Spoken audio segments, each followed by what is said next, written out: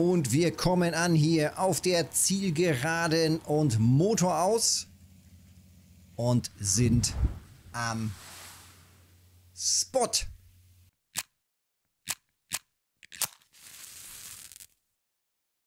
Bevor das Video jetzt richtig losgeht, kurze Frage an alle internationalen Zuschauer, auf welchen Sprachen ihr gerne die Videos noch übersetzt hättet. Die kommenden Videos haben dann Untertitel in der Sprache, die du am besten verstehst. Ja, und an diesem Spot geht es jetzt testweise auf Kalmar, auf den Squid. Ähm, Dariana hatte was gepostet im Discord, hatte dort einen Spot, also diesen Spot gepostet, mit verschiedenen oder mit einem Köder, der gut funktioniert hat. Und sie stand hier an der Stelle wohl drei Stunden und hat ganz gut gefangen.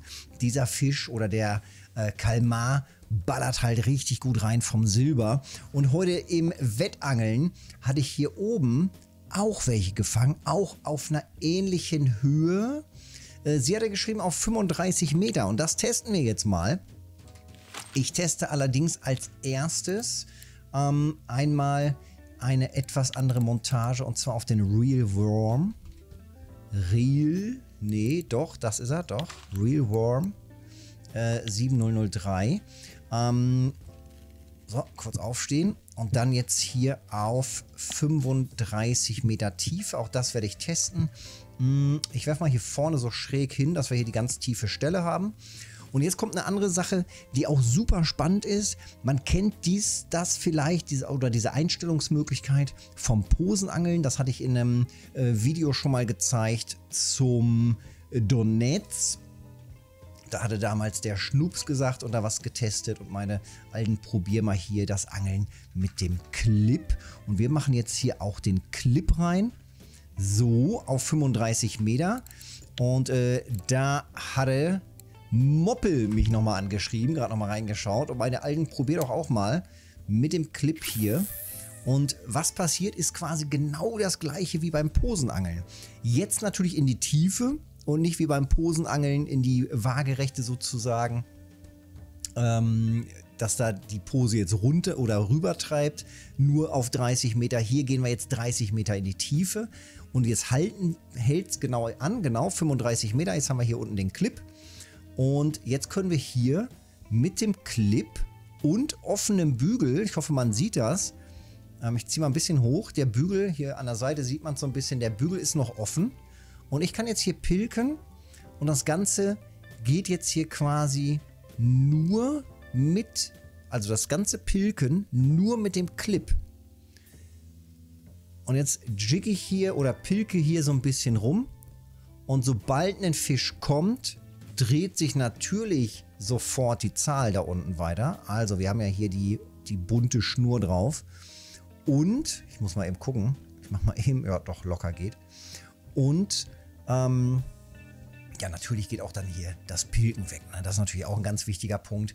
Also beide Sachen reagieren dann sofort. Zum einen das Pilken, dass das weggeht. Zum anderen geht dann natürlich auch die Schnur äh, weiter. Also die 35 geht dann irgendwann wahrscheinlich in Richtung 40 oder das dreht sich einfach ringsherum. Das testen wir jetzt einfach mal. Also, ob das die Tiefe ist, das ist die gute Frage. Ich glaube beim ja doch, bei dem Spot da oben auf diesem 190er war ich ein bisschen tiefer, hatte innerhalb von kurzer Zeit zwei relativ große 500, 600 Gramm äh, Kalmare gefangen und es ging richtig gut. Also es ging halt richtig gut ab auf diesen Köder jetzt hier. Ähm, Dariana hatte geschrieben, und das baue ich gleich mit dem anderen Setup nochmal zusammen, hatte das mit dem... Oh, Biss. Na guck, vielleicht einfach nur ein bisschen hängen lassen. Hatte das mit dem, ähm, mit dem Bond, hatte sie das gemacht. 125er 06, auch das bauen wir jetzt gleich zusammen und testen das. Wenn das jetzt allerdings hier sofort Ergebnisse liefert, bin ich auch hiermit schon super zufrieden. Nope. Erster Fisch, ein Schellfisch. Naja, nett, aber den wollen wir nicht. Also, was sie gemacht hat, das machen wir direkt hier mit diesem Setup. Guck mal hier, damit war ich gerade noch groß unterwegs. Ähm, wir bauen hier eben um auf, beziehungsweise, nee, wir nehmen auch das, das andere Setup, die andere Route. Denn da haben wir ja noch ein bisschen Plus drauf auf die Montage und alles. Wir gehen hier auch auf die Piltmontage, nehmen dann hier den Bond ähm, 125 als 06er. Das ist er hier. Zusatzhaken 2.0 hatte sie jetzt drauf. Hab ich gar nicht. Das heißt, ich nehme 4.0. Bisschen größer. Ähm, dann hatte sie hier die äh, Firesticks in Red mit dem Leuchtschlauch, jawohl, dass wir da so ein bisschen Farbe haben. Und dann hat sie da auch noch hier diese Tubes. So, und dazu auch noch ein, ich musste gerade nochmal nachschauen genau, es ist ein Köhlerfilet. Davon habe ich zum Glück auch noch einige. Auch hier machen wir jetzt hier wieder den 35 Meter Clip, er ist sogar noch drin. Und dann gucken wir, wo sind wir hier. Wir sind schon wieder abgetrieben, ganz weit. Das heißt, auch hier nochmal eben wieder zurück. Wenn die Drift so hart ist, muss man das leider öfters mal ein wenig korrigieren. Und weil wir jetzt aber wissen, dass wir in diese Richtung driften, fahren wir jetzt einfach mal ein bisschen weiter auf die andere Seite von dem Loch jetzt hier. So. Siehste. Und jetzt haben wir hier auch schon eine Anzeige in diesem Bereich hier. Waren so auf 20, 30 Meter auch schon einige Fische zu sehen. Und raus damit. Auch hier jetzt wieder auf 35 Meter. Das sinkt jetzt von alleine ab. Ich bin super gespannt. Und da geht schon was rein. Ei, ei, ei. Ei, ei, ei, ei. Da kam schon direkt der Biss durch den, der Clip hat sich von alleine gelöst und da war der Biss. Ähm, ja, wie gesagt, man kennt das vielleicht von irgendwelchen Dokus, wie die, da ist er schon, wie die Kalmare gefangen werden.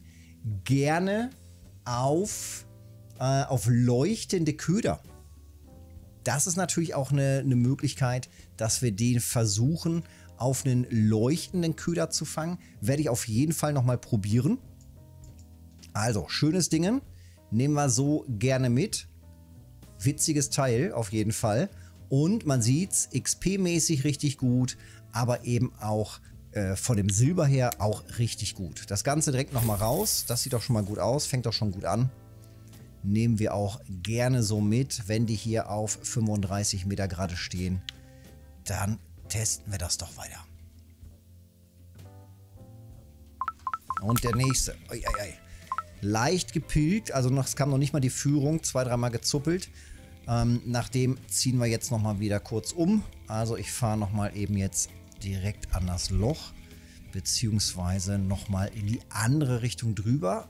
Oha, Oha, nicht schlecht. Europäischer Seehecht. Also sehr, sehr unterschiedliche Fische gerade hier drauf. Auch das ist schon mal richtig gut, um eben nochmal mehr oder eine erhöhte Chance zu haben, dass wir mehr Skillpunkte bekommen. Also Skillpunkte fürs Meeresangeln. So, mal eben drehen. Da haben wir jetzt das Loch. Jetzt fahren wir mal kurz wieder drüber in die andere Richtung. So. Und ich bleibe auch hier am Loch ungefähr stehen. Zack, Motor aus. Es treibt noch ein wenig. Und dann treiben wir wahrscheinlich gleich wieder zurück. So, und da sehen wir immer wieder hier in diesem Bereich diesen Schwarm. Und diesen Schwarm, den hätte ich ja schon gerne. 7 Meter bis irgendwas um die 30, 33 bis 40 Meter vielleicht Tiefe. Ich behalte das nochmal auf den 35 Metern. Und da geht er wieder runter. Ei, ei, ei, da muss man auch echt manchmal zuschlagen.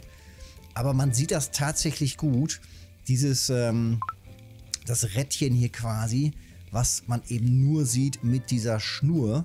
Zack, da ist der nächste. Sehr schön. Dieses Rädchen funktioniert eben auch.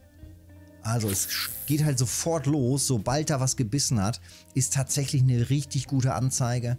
Einfach den Bügel offen lassen der Clip löst sich automatisch und äh, der Biss oder der, der Fisch halt oder der Kalmar, der haut dann ab und kann dann einfach schön ziehen. Ganz, ganz gute Lösung, super praktisch tatsächlich. Und das hier auch nur, wenn man so ein bisschen steht. Ich mache zwischendurch tatsächlich immer so ein, so ein leichtes Gezuppel hier. Und es kommt noch nicht mal direkt die Meldung, des Pilken. Also es kommt noch nicht mal diese, die Meldung Pilken, sondern einfach nichts. Aber vielleicht reicht das schon, um zu triggern. Und da ist direkt der nächste. Siehst du, so, so easy geht das. Also wirklich cool. Macht tatsächlich auch Bock so, weil man eben tatsächlich gar nicht so viel machen muss. Zwischendurch mal ein bisschen rumgezuppelt. Na, was haben wir hier? Eine Makrele auch wieder. Auch hier wieder Skillpunkte bekommen. Immer wieder gut. Sehr unterschiedliche, stopp, sehr unterschiedliche Köder. Ich habe jetzt hier nochmal einen roten, den roten Pilker quasi. Guck mal da. Schön. 743 Gramm. Ist, glaube ich, gerade mein größter. Sehr, sehr nice. 743 Gramm. Tipptopp. Also, gerade noch mal etwas geändert. Auf den roten 125er. 4.0er und dann den äh, Leuchtschlauch, genau die Tubes mit dran, Kühler mit dran. Auch das hier auf 35 Meter Tiefe. 30 Meter, 35 Meter, wir sind angekommen und auch hier jetzt direkt wieder anfangen mit dem Pilken. Das Pilken scheint auch den Kalmar, den Squid zu locken und lockt auch nicht zwingend nur andere Fische. Also scheint zu funktionieren. Hier, wie gesagt, an der Stelle funktioniert es. Andere Möglichkeit, oben rechts in der Ecke, wenn ihr eher in dem Bereich gerade unterwegs seid, 190 Meter Loch. Ich kann mir gut vorstellen, dass es gerade nachts nochmal besser funktioniert. Gerade mit diesen leuchtenden äh, Partikeln, dass man dadurch den vielleicht sogar einfach noch besser fangen kann. Ja, das Einkurbeln und Absinken lassen, ne? das ist tatsächlich so ein Ding. Zack, der nächste mit 900. Jawolski, 907. Sie werden immer größer. Das Absinken lassen und das Hochkurbeln, das ist tatsächlich so ein Ding. Aber bisher muss ich sagen, bin ich schon wirklich zufrieden. Wenn wir hier mal schauen von den, von den Squid, von den Kalmar. Sehr, sehr schön. 15, 23 Minuten jetzt hier insgesamt. Ich werde gleich noch ein bisschen weiter testen, weiter probieren und ähm, dann gucken wir gleich auch noch mal kurz in den Kescher rein. Bah, 1,47 Kilo. Ist das der Hammer? Sie werden ja richtig groß hier, die Brocken. Wham! So, ich habe noch ein bisschen weiter durchgezogen und wir schauen jetzt natürlich noch mal eben rein was wir denn jetzt hier so im Kescher haben. Mal eben nach Preisen sortieren und ich glaube, man sieht, warum so ein Squid so interessant ist. Kohlemäßig einfach der absolute Hammer. Hier 94 Silber für 1,4 Kilo bis hin, ja, 500 Gramm immerhin noch 34 Silber. Also eine Stunde jetzt rausgefahren, 600 Silber in einer Stunde. Und das Ganze mit einem ziemlich leichten Equipment. Ähm, ja, kann man machen. Und dazu kommt, und dazu kommt, Skillpunkte waren auch noch gut dabei, weil so viele unterschiedliche Fische auch noch gut Skillpunkte gemacht, jetzt bei 57,3. Ich bin mega zufrieden. Dankeschön nochmal fürs Teilen der Spots. Daumen da lassen, wenn es dir geholfen hat. Kanal abonnieren hilft mir. Und dann sehen wir uns im nächsten Video oder im Livestream auf Twitch. Montags, Mittwochs, Freitags immer um 19 Uhr. Und zurzeit immer noch jeden Tag hier, jeden Tag hier am Meer.